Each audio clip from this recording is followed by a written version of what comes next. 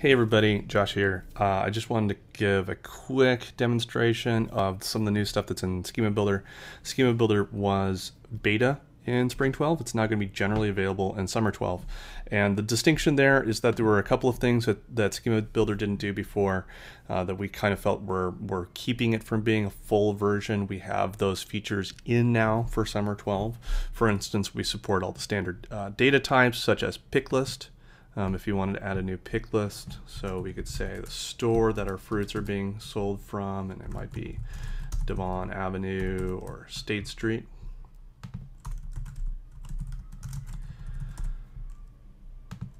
So you can create pick list values right on the fly. The other thing we now support, you can also do formula fields directly from within Schema Builder. So you don't have to get out of the Schema Builder interface in order to build out these other data types.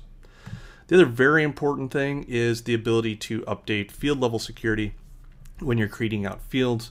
Previously, when you were creating a field in the schema builder, you would still have to go to the object definition, update field level security for the fields that you had created within the builder interface. But now I can just go into manage field permissions. I can hit visible, and now I have made this visible for all my profiles, and I can add it to layouts or use it through the API or anything that I would normally do. Okay, so like I was saying, just a very quick demonstration. Highly recommend everybody grab their pre-release org and take this for a spin. Happy developing, everybody.